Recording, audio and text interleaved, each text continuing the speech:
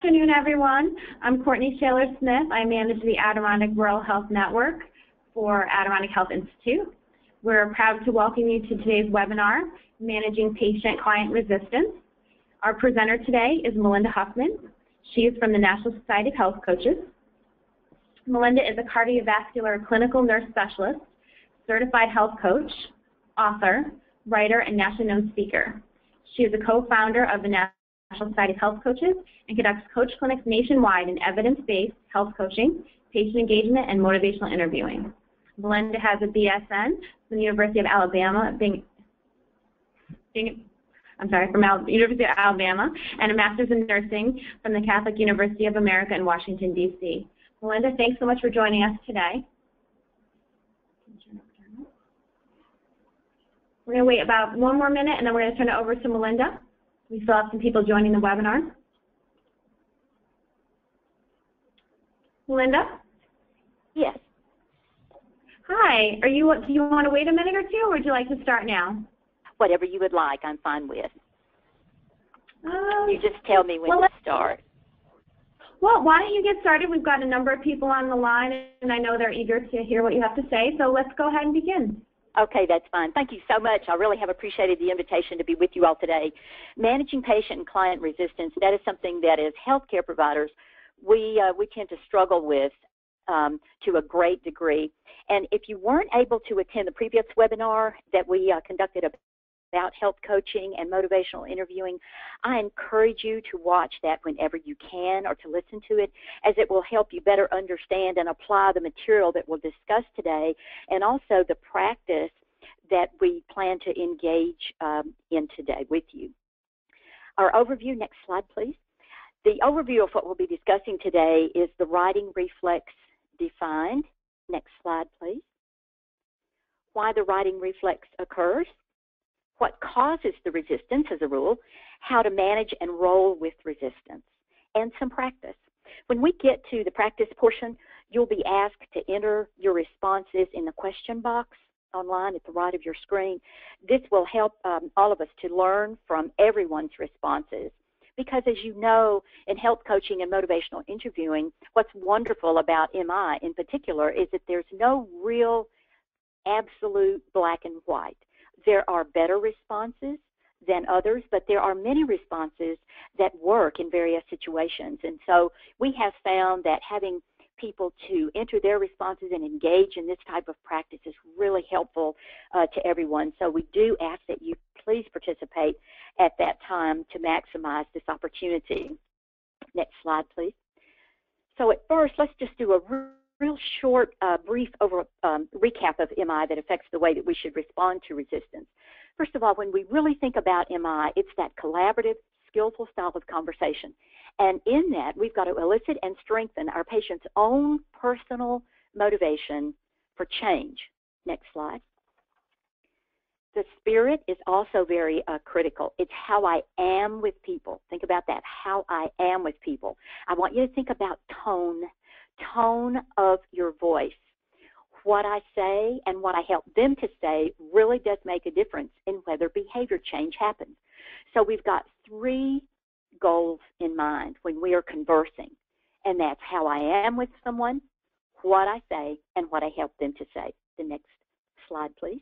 So just what is the righting reflex? The righting reflex, it's a natural tendency for one to resist persuasion. That is just absolute science. We're going to see to resist anyone who's trying to persuade us. If we perceive persuasion, next slide please. And so why does this actually occur? Why does this righting reflex occur? When a decision isn't easy, we generally feel at least two ways about it to begin with. And this is uh, an internal argument that we're actually having with ourselves. Well, I would exercise, but I just don't have the time. I would try to stay on this diet, but I like sweets too much. I would try to manage my diabetes better, but I just hate going through all the things that I've got to do. I just get so weary of it. So it's the but in the middle that creates a lot of that internal argument. We would do this except for that. So when we enter the picture, first of all, understand that our patients already have an internal argument related to their health and their health behavior most of the time.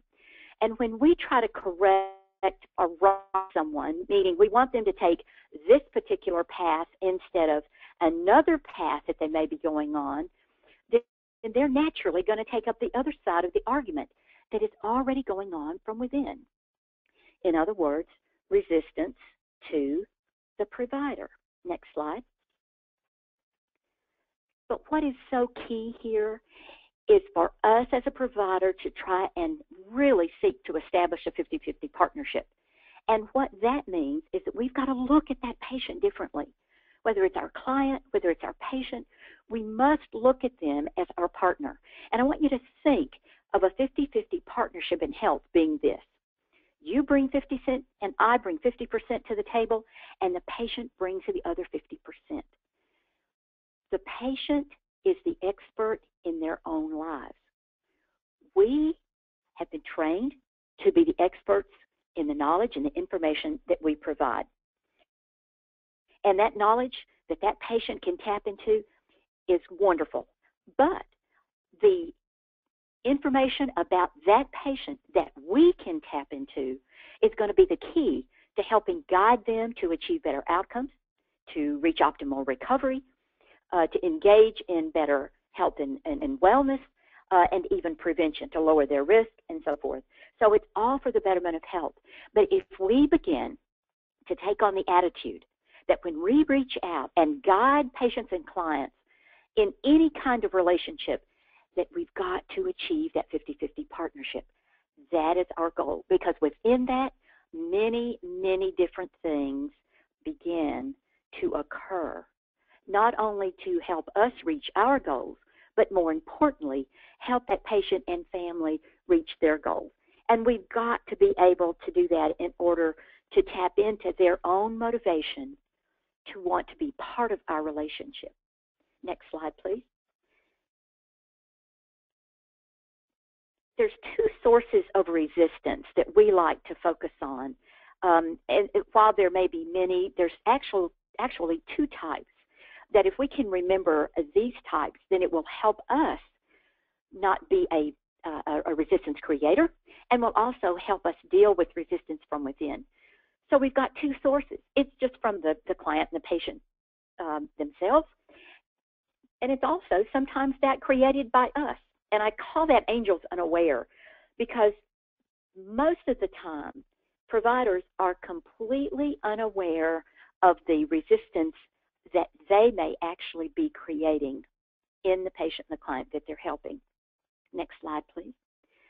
So let's look at resistance and that that's created from within the patient and client. We've got to believe, we have to know that a patient's values and their concerns, their beliefs, morals, their faith, their birth generation, all of that affects their decisions about what they're going to do related to their health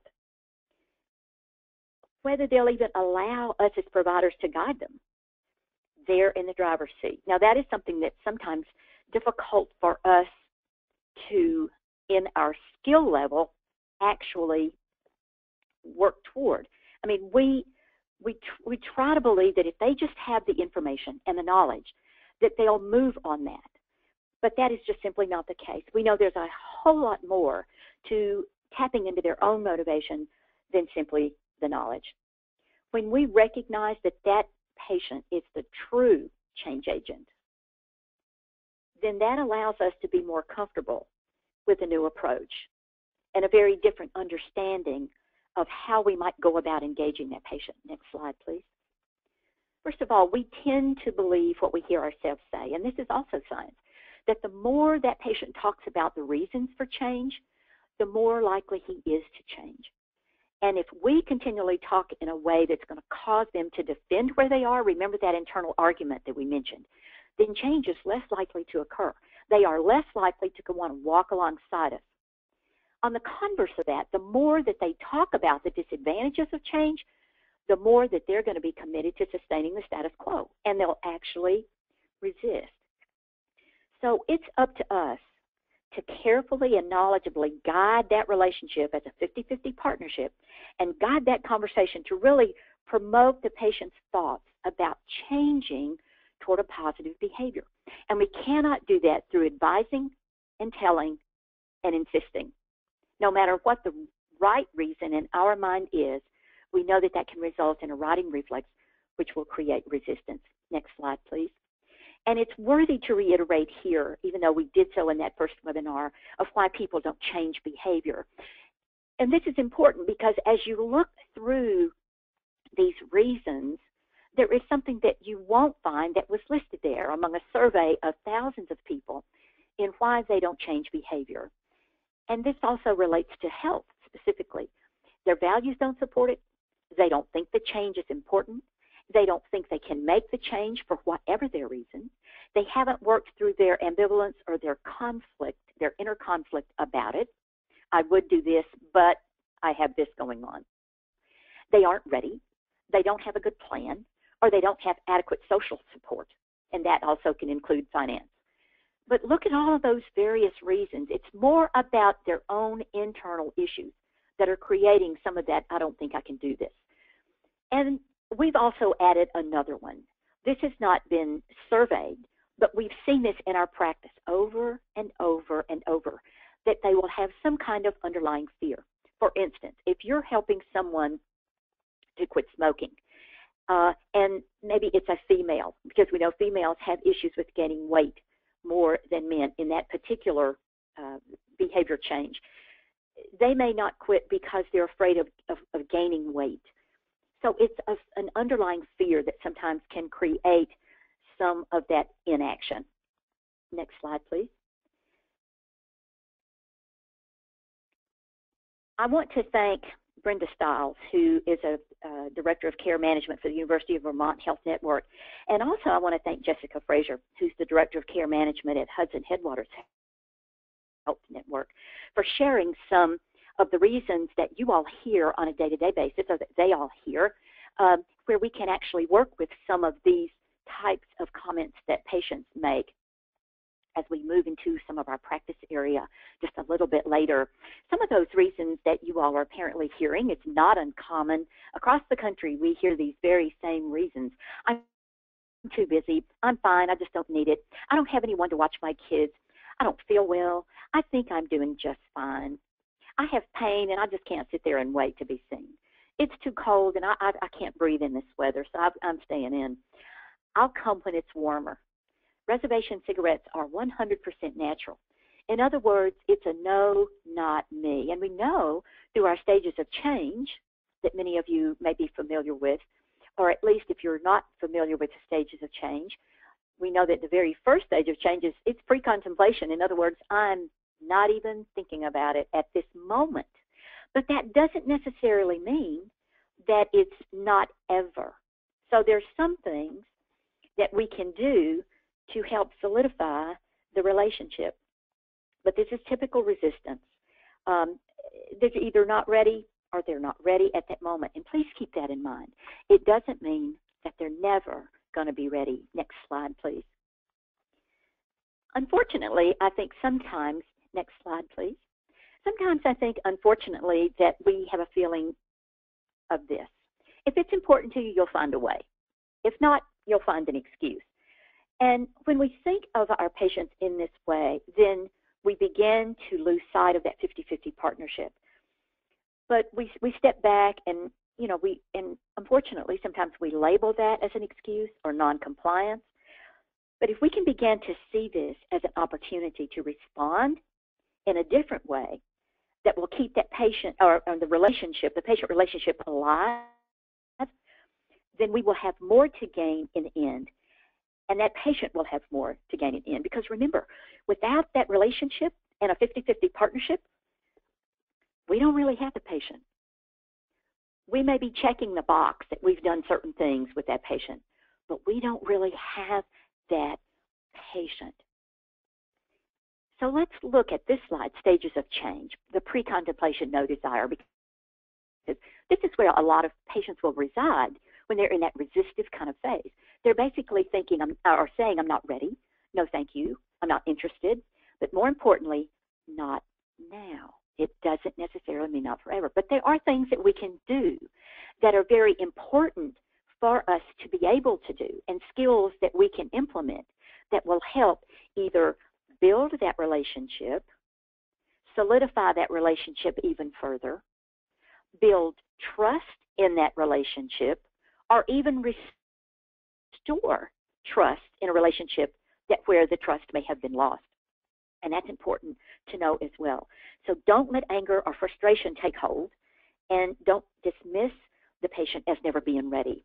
But there are things that we can do. We can empower them so that they know that we have empowered them, that they know that we understand that they truly are in control because honestly, they are. And no amount of telling and preaching and insisting or shaming or arguing is really going to change that at that moment. Develop and maintain that rapport. And again, that goes back to the tone of our voice. We were in an advanced uh, level motivational interviewing discussion the other day, and we talked about how important tone is, even when you say and use the very same skill, that the tone can change the entire skill to a different level or a different meaning. So tone is important. Don't be discouraged, number one. Number two, don't burn those bridges. Because remember, it can simply just be temporary. Next slide, please. So in developing rapport, there are two things that are critical. Empowering the patient, asking permission. Would you consider? Would you be interested in? Do you have any objection in or to? May I give you some reading material about? And in giving them information, another way to is empower them is to do the elicit, provide elicit. Many of you may know this through your motivational interviewing, but it bears um, reiteration here. Respect what they already know. Anytime you can show someone respect, that helps to build trust.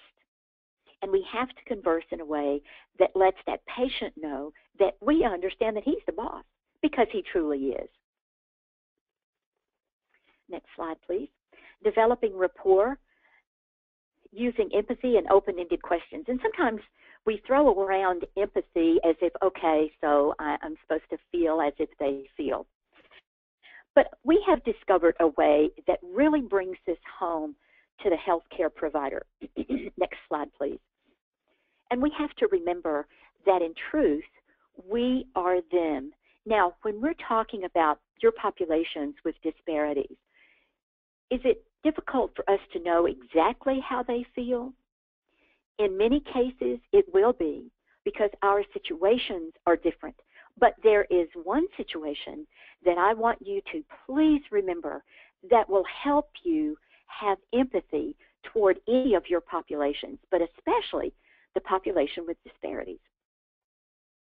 When we say we are them, I want you to remember this. I do want to share a tip that will help you show empathy more than anything else that you may have come across. You've probably done much reading on the research, but it's true, and the percentages are still this 40 to 60% of patients, any patient population, will not follow treatment plans, will not fill prescriptions. And let me say this it's not only patient populations, but it's populations of healthcare providers. It doesn't matter where we are in the country large presentations, small audiences, large audiences. 50 to 60 percent of this population that we teach, providers like ourselves, will hold up their hand when we ask this question How many of you have not at some point in time filled a prescription, followed a treatment plan, or have filled a prescription and never taken it as directed. Hands, at least 60% of the hands go up. So if you can simply remember that, yeah, when it comes to health behavior change, many of us, including myself, and I put myself at the top of the list, we may have had high cholesterol. We may need to lose weight. We may need to stop smoking. And we have those same issues personally that will keep us from moving forward. While not exactly the same issue, we have that internal argument, and that's the issue I'm referring to. It's an internal argument based on something in our lives that causes that resistance. And if we do not lessen that resistance through the way that we engage and what we say and how we say it, then the resistance will continue to be there all the more. So I encourage you to remember that little tip that we are them in that one particular way and probably in more ways than one. Next slide. And then open ended questions. That is key for us as we can tell when someone is resisting us to use really sharp and smart open ended questions to redirect that conversation. Of course, we know that it requires thought on the part of the patient for them to respond but it also helps us to redirect when we do feel and sense that resistance. And I want to say this that is one way when you can self evaluate your motivational interviewing skills, and many of you already have some of those skills. That's a good self evaluation tip, and that is when you sense resistance. Oftentimes, it may be something that we have said, the way that we have said it, that has created that righting reflex. So just keep that in mind. Not always, but it's not uncommon. Next slide. Those open-ended questions are going to allow that patient to reflect upon their own concerns and values and hesitations. The reason that is so important is remember, it's that 50 50 partnership and help that we're trying to establish. So while we're the experts in the knowledge, they are the experts about their own concerns and values that will either help or hinder their moving along with us, alongside us. And to guide them successfully, we've got to be able to tap into that motivation that's going to help bring them along with us and us with them. Next slide, please. Open ended questions sound very much like the describe, tell, where, explain, when, why. But I also want to give you this little heads up about that. Sometimes we have people who, when they see that first word, what, they think that that might that that's an open-ended question. That's not necessarily the case. It's what follows that makes it that true open-ended question that helps to helps that patient think about changing or think about what may motivate them. We're trying to get to the bottom of what will motivate them to move. Next slide, please. The examples of this, how does blank help you the most? What would happen if you decided to? And remember, when we say it in that way, we're still putting the um, uh, the decision making within that patient's uh, hands. If you could, what would you need to change for you to be able to? And you'll notice if you could, we're not saying you must, we're not saying you have to, we not, we're not saying do this, we're saying if you could or if you decided to, what would you need to change in order for you to be able to move in that direction? That's what really helps them to get to, to start thinking and, and to, to get moving in that direction, even with their mind. Describe how you would feel if you could please give your thoughts about why do you believe this is happening and when is it the best time for you to? And of course, there's many, many more. I'll be happy to send you that if you would like for me to. You can just let Courtney know, and we'll make that available to you. So we've talked a little bit about resistance from within. Let's talk now about resistance that's created by the healthcare provider. Next slide, please. And again, we call this angels unaware because many times we're not aware that this is actually occurring based on how we're saying what we're saying. Next slide, please. We have just simply got to avoid creating that resistance. And these are responses that the science has found that usually result in the righting reflex and result in resistance from the individual that we're working with. We've got to try to resist the urge to. And let me say, that because we try to right individuals, we try to correct them. We don't want them to have a stroke if their blood pressure is not managed. We don't want them to have high blood pressure if their weight is not reduced. And, and it just goes on and on. So we, in our own way, without realizing it, most of the time, we're we're we're creating some of this resistance ourselves when we try to convince someone they have a problem, when we try to argue for the benefits of change, when we try to tell someone how to change. And it's it's kind of funny in all of our coach clinics that we conduct nationwide as we're going through hours and hours of practice. It's not uncommon for healthcare providers, and that's who we um, that's who we engage with, is as we're practicing, they'll be telling the individual they're working with, they'll be the health coach, and the other provider is, is playing the role of the client and the patient. It's very common for, for the health coach in that role to tell them, well, have you thought about exercising when you get off of work? Have you thought about maybe trying to lose only just two or three pounds a month? Have you thought about using the patches or the gum? What about if you consider it it just goes on endlessly and we have to stop them right there and say think about what you're doing.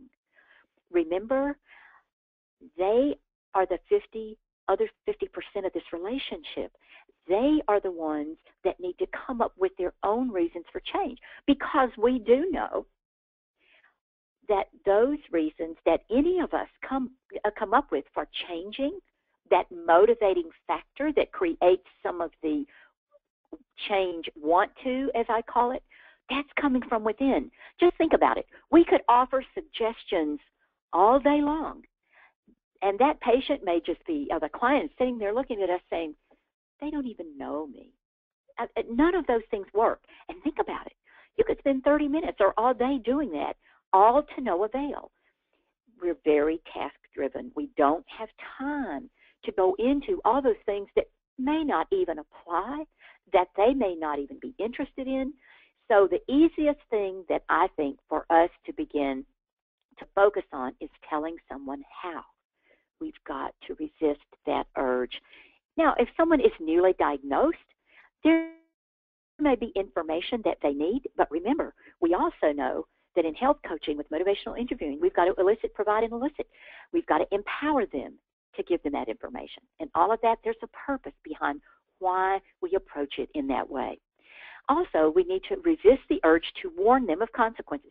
Now, we know that with physicians, they have a responsibility to give the risks, the benefits, the downside, and consequences. So there's an exception there because within their practices, that's a responsibility that they have. And it may be for some other prescribers as we move forward in some of the healthcare reform that we're experiencing. Next slide. So, what does provider created resistance sound like? Next slide, please. Let's stay with convince, argue, tell how, and warn. And let's uh, look at some of what this may sound like. Convincing. Reservation, reservation cigarettes say 100% natural, but they're really not. Arguing. You want to breathe, don't you? It's really interesting. I'm, I'm sure you look at that and say, how, how, Melinda, that sounds ridiculous. How can that be? My father was in a skilled rehabilitation uh, facility, and it was getting ready for discharge. My mother, who is 88 years old, was sitting there. I was sitting there as we were listening to the nurse give us information about preparation for discharge. And as she began to reel off all the things in a, this is what you have to do. Now, you have to understand that we had not been engaged with the care team, even though we had asked, until discharge because we were told, oh, they'll tell you everything you need to know. Now, I want you to think about that. They will tell you everything you need to know. Given that kind of setting, the RN comes in to discharge us, and when she said, okay, he'll go home on oxygen because he had experienced a bout of pneumonia um, as a comorbidity while in an exacerbation while in uh, the, uh, the facility. And my mother said, oh, I don't want that. Now, you have to remember, if they had engaged her much sooner as a 50 50 partner, they would have understood where that concern was coming from. The nurse turned around. I don't want that oxygen tank in my house, my mother said. And the nurse said, Well, you want him to breathe, don't you? I thought to myself, Oh my goodness gracious. Arguing for the benefit. End result my father did not go home on oxygen. My mother resisted. I was okay with that because I was really in control. I could auscultate his lungs. I could get the respiratory therapy there, which we ended up doing anyway by the time I got home. But I wasn't going to create any more issue for my mother. I turned around, we talked about that. But these kinds of things happen all the time, people. I want to try and have you just think about what you're saying and especially what you hear others saying because we can learn from them as well. Telling how. If you don't feel well, well, this is reason enough for you to come in. Warning you've got high cholesterol. You've got to get that down. And even when we're sincere, and even when we mean well, this is what resistance, provider created resistance, can sound like. And these are just a few of those examples. So I want just over the next 15 seconds, think of some of the things that you may have even said yesterday, just to think back. Could that have created any resistance? And just kind of self evaluate. Next slide, please.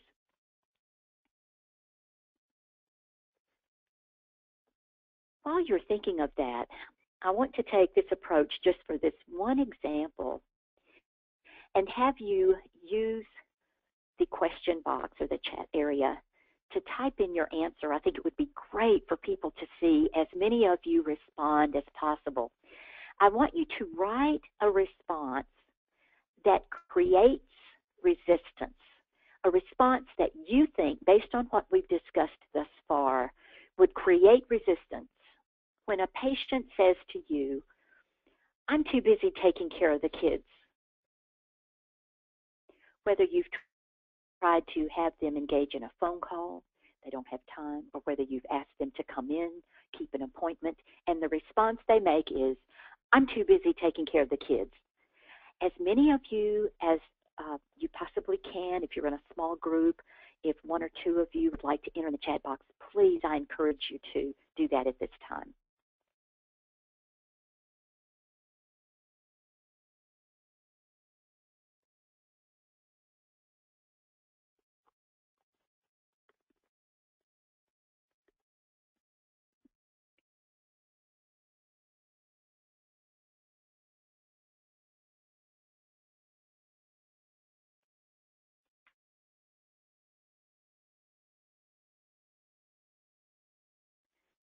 Those are wonderful, wonderful examples coming in. Well, maybe you, this is great. Well, they need you alive, don't they?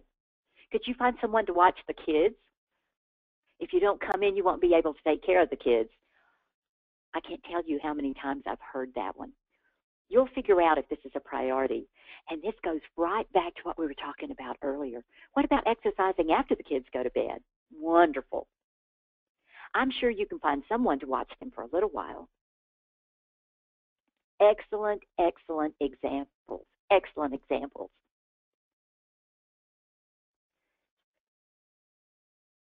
If you don't take care of this, this will happen. You really need to do this, or you may not be around for your kids. Some of the very ones that you all have mentioned are perfect. I don't have a ride. How are you going to take care of your kids if you don't take care of yourself? Let's go with the next slide, please. Thank you all so much for participating because those are excellent, excellent ways of creating resistance that we want to avoid at all costs. Okay, next slide, please. Bring them with you. I love that one. Well, if you don't meet with me once a month, we'll have us could you bring your kids with you when you exercise? Again, offering all kinds of options for them. Okay, next slide, please. Thank you again so much. That was wonderful. Now we're going to switch gears. We're going to go from having written one item that may create resistance, the very resistance we're trying to avoid, to trying to take some of the things that we've talked about, and we're going to practice writing some responses that would help us manage or roll with the resistance that we may feel. Next slide, please. Your patient says, I'm just too busy. Think about ways of writing an open-ended response that would help decrease that resistance.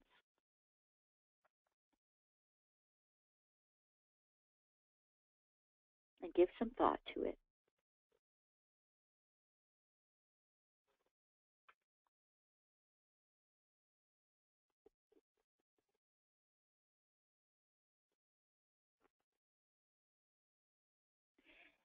and start to enter those into the chat area and everyone be watching all of the responses that are coming in. Tell me more about that.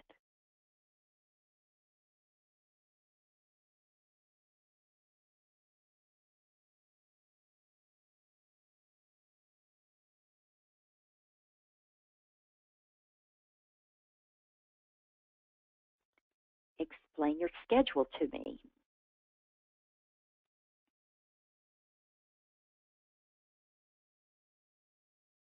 And remember, tone. Keep that in the back of your mind as well. And as you're thinking of and, and writing in your responses, think about also in using that response, what type of tone might also lessen any resistance that they may read just in the statement that you've made. Do you have days that are less busy than others? What kinds of things are keeping you busy?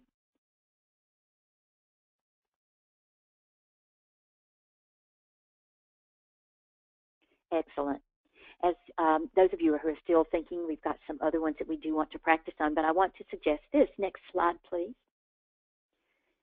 Here's some responses as well for this particular uh, patient who says, I'm too busy. What, is, what seems to be hindering you the most from XYZ? I love this next one because it puts that patient in the driver's seat as they are listening to you. If you could, what would you need to change for you to be able to come in? Said with a tone that is, is sincere, non arguing, non shaming, and see if you begin to get some response that's maybe a little different than the response that you might be getting today. Let's try another one. Next slide, please. I'm fine.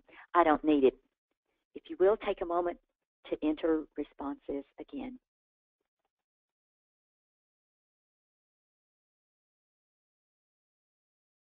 I'm fine. I don't need it.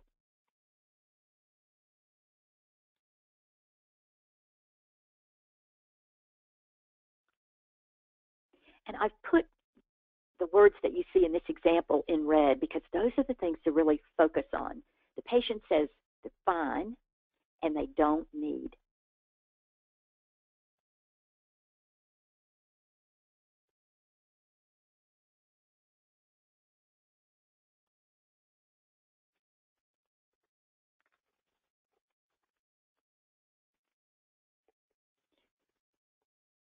How can we help elevate some of the things or, or, excuse me, do you, it's going so fast I'm having a hard time keeping up. Do you know we're open for extended hours?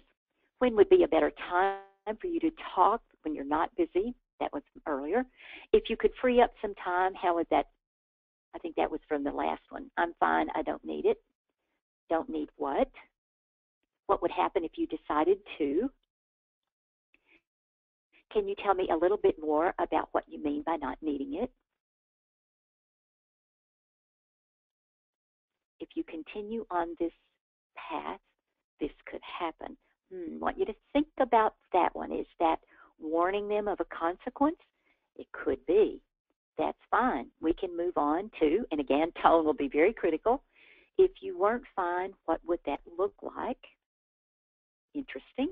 Tell me what you would like to focus on.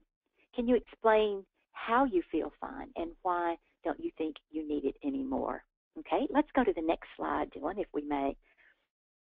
Here's just a couple of additional ones. Next slide.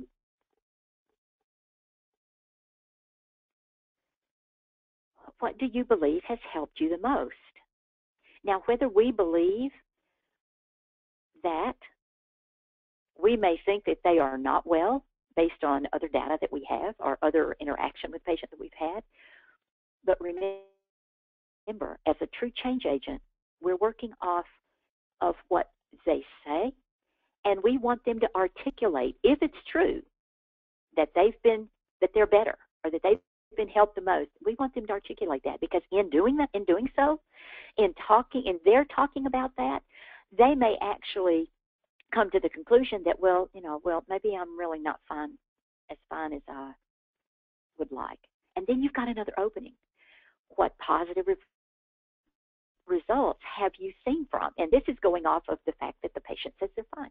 Well, what positive results have you seen? What do you believe has helped you the most? Or what did you see in yourself that you liked the most about being better? Because that gets them to tell you. And that begins to have them to really think about it. Next slide, please.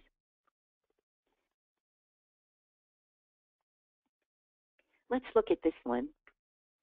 Reservation cigarettes are 100% natural. How would you respond in this way that will not create resistance?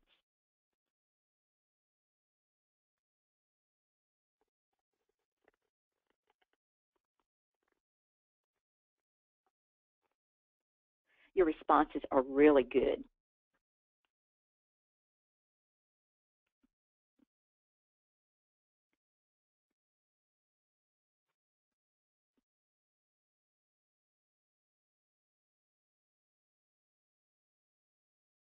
hemlock is natural.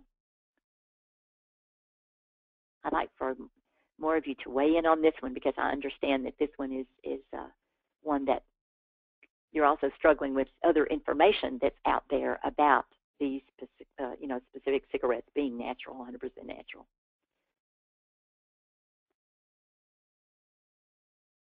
What makes them natural? I never knew that. Can you tell me what is natural in them? What do you think natural means? What do you understand natural to mean? Wow, they must be expensive. Can you help me understand what makes them 100% natural? Tell me more about the research you've done. Tell me more about that. Excellent, excellent. Next slide, please.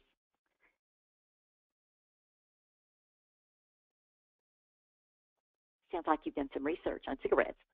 Here's a, another couple of responses. May I give you some new information on this?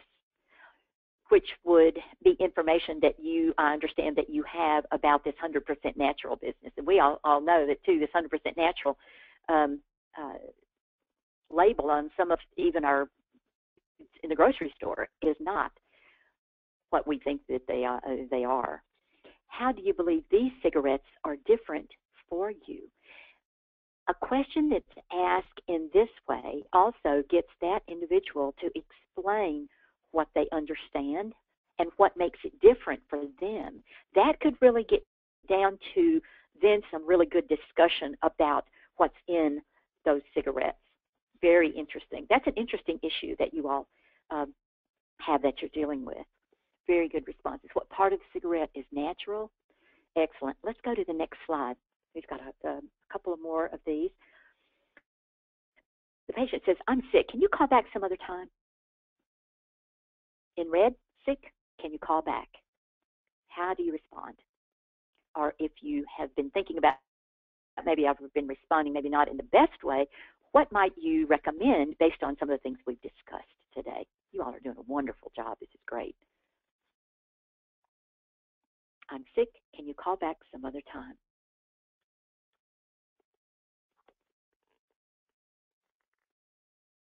When will be a good time to try again? Can I plan to call you at a certain time? I'm sorry to hear that. When would be a better time to call? What's a good time for you? These are all excellent because honestly, and let's go to the next slide, Dylan. How can I help you feel better? I love that one. Next slide. You're not well. What can we do to help? I'm sorry you're not well. How can I be of help? What is the best time for you this week? So it is, it, there's going to be plenty of times when that individual truly may be sick and does want you to call back or just simply cannot deal with uh, a conversation at that time. And so the best thing for us to do is to simply reflect the fact that they are not well, ask what we can do to help, extend your, uh, I'm sorry that you're not well, and how can I be of help? What's going on? How are you feeling? Do you need to come to urgent care? Of course, can you tell me what's wrong? When's the best time? Those are all excellent responses because sometimes they're just not ready. Next slide, please.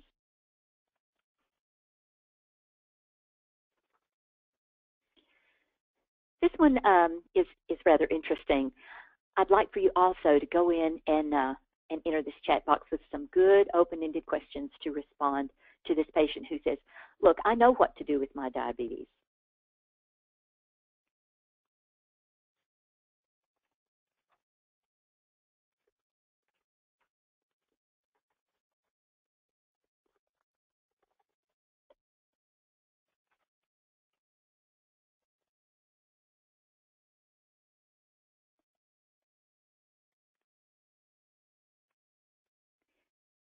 Can you please tell me what you do for your diabetes?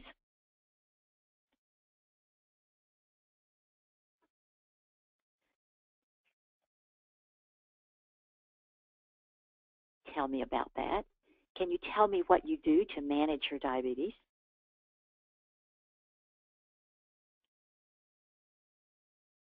Could you give me some examples of what you're doing? Can you explain to me how you manage your diabetes? Explain? That's great. How do you manage your diabetes? I want to offer um, a suggestion. Some of these questions are asked in a way of a closed-ended question. Can you? Um, if you would consider just leaving that can off and making the statement, please tell me what you're doing about your diabetes. I'd like to hear more about what you're doing to be successful. Tell me how about your diabetes. Just convert those closed-ended questions to an open-ended. Tell me what you've been doing that works. That's a good one. Anyone else? These are excellent. I encourage you to begin to convert those closed-ended questions to open-ended because a yes-no, I think you will get more of their responses if you will cause them to think more about how they are actively and successfully, if they truly are, managing their diabetes. This is an ideal situation. What would be happening to take care of your di- or in an ideal situation, what would be happening to take care of your diabetes. Next slide, please. And we're nearing, nearing the end of our examples here. Here's some thoughts. We don't hear this very often. What have you found to be most helpful to you day to day? You know how to manage your diabetes and things going well. Of course, that's a reflection. And then if no reply, what help would you like from me at this time? They may still need some help in, in an area, but it also will have them think about do I really manage this 100% perfectly? And they're the only ones that can really express what it is that they still struggle with, even though we may have our own ideas about it. They've got to bring that to the table. We're here for you when you need us when may I check back with you? And that's basically um, saying to them, you said that you know what to do, so we're here for you when you need us.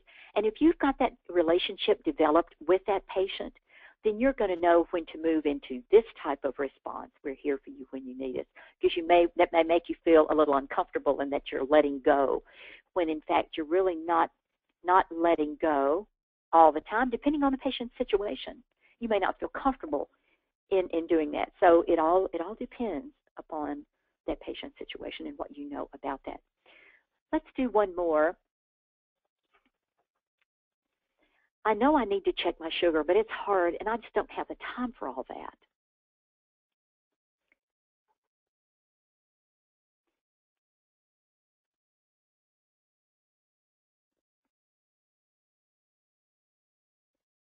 Everyone please uh, look at the responses as they're coming in? I know I need to check my sugar, but it's hard. I just don't have time for all that.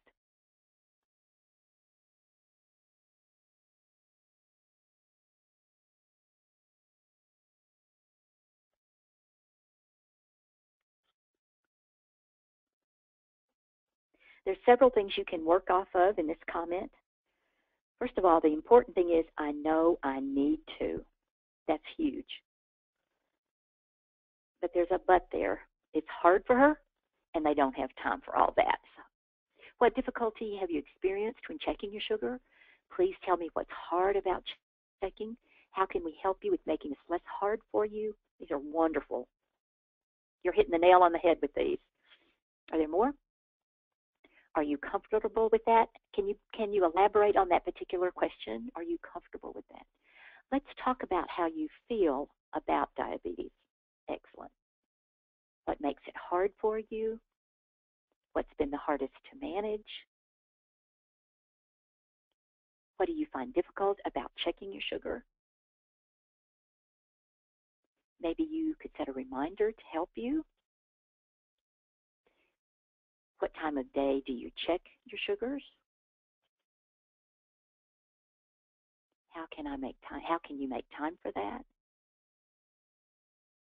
Okay, let's uh, have the next slide, please, and let's look at some um, options, other options to consider. Some have already been mentioned. You all are doing a wonderful job. It's important to you, but it's hard. What makes it difficult for you? When they say, I know I need to, then it truly is. They're telling us they're important. It's important to them, and we can simply reiterate that we understand that. We hear them saying that it's important, and we also hear them saying that it's hard. And many of you said, What makes it difficult for you? And again, it's tone. If I say it's important to you and it's hard, but it's hard for you, what does make it so difficult for you? That tone is very different than, well, what makes it difficult for you? So you understand tone is, is everything. It's important to you, but you don't have the time. If you could, what would you do first to fit it into your routine? What's most important to you about checking your sugar? What would be the benefits for you if you could check your sugar regularly? Hopefully, those are some additional ones that you can add to your repertoire um, that may uh, make a difference as well. Um, I want to ask now, uh, you can go to the next slide, Dylan, if you have any questions or any comments at all about what we've discussed today, especially in terms of the resistance.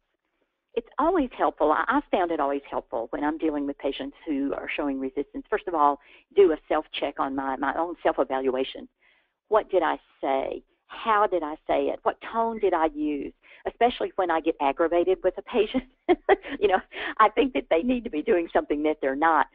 That's that's something we all have to resist uh, because it's certainly only going to uh, you know create that. So create that resistance. So it's it's important to to always remember first of all we've got to keep that 50-50 partnership and health alive. And to do that we've got to be what we've got to watch our tone. We've got to resist the urge to tell to direct to shame to blame to argue um, that that isn't going to get us anywhere um, at least not the direction that we want want to go. In continuing to keep that relationship alive. And in sometimes we have to accept the fact that they're not ready at that moment. And we've talked about some things that uh, that we can do to continue to develop that rapport and continue to empower them. Because honestly, as the true change agent, they're the ones that will decide whether to come in at all, whether to re engage with you, and we want them to engage with us whenever they do decide to engage key, key point there. Um, for, for any kind of training and education uh, or health coach certification, please consider our program. Here's our information. Uh, we have group discounts. for Adirondack Health Institute partners that we'll be happy to talk to you about if you have an interest. This is just the tip of the iceberg. We know that many of you have had motivational interviewing. Some of you may be new to health coaching with motivational interviewing, and there's so much um, practice that, that we can engage in uh, that's really helpful, especially on a periodic basis. Um, any questions at all? If not, Courtney, I'll turn it back over uh, to you to close out our session together. Melinda, thank you so much. That was a wonderful webinar. I'm very encouraged by the amount of back and forth participation we had. I wanted to say thank you to Brenda Stiles and Jessica Frazier who agreed to be interviewed in the creation of this webinar so they could speak to our regional challenges. I wanted to remind everyone that we do have, we will have this webinar archived on the Adirondack Rural Health Network website at the end of next week, and the first webinar that Melinda already did is already there. And we will have the slides as well. There's a lot of questions coming in about can we see the slides. I'll get it up there by the end of next week at the latest, I promise. If anyone has any questions, you can feel free to reach out to me or Melinda. And I'm not sure, do we have anything else? Any other questions come in? Okay, we have a few questions. Hold on.